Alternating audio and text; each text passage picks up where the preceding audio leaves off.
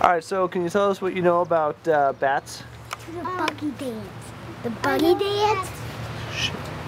They have very weird faces and they eat mosquitoes.